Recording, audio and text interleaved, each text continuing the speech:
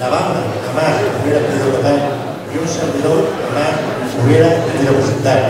pero está dedicada a un gran amigo, antiguo director de banda, fallecido hace años en una noche de verano.